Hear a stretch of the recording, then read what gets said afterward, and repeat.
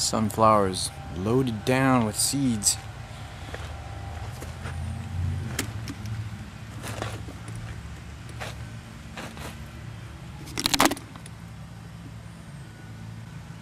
It's interesting how the cycle goes. The, the plant grows, it looks beautiful and it has its flower, but then it gets pollinated and starts to dry up and the plant withers and dies.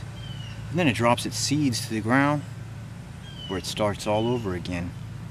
It starts a new life as a seed and grows into a whole new sunflower.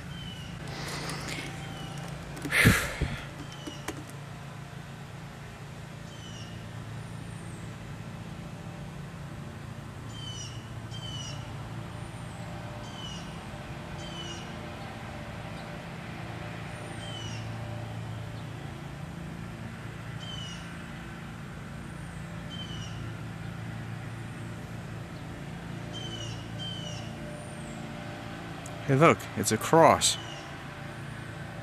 Huh. It's a cross on the sun.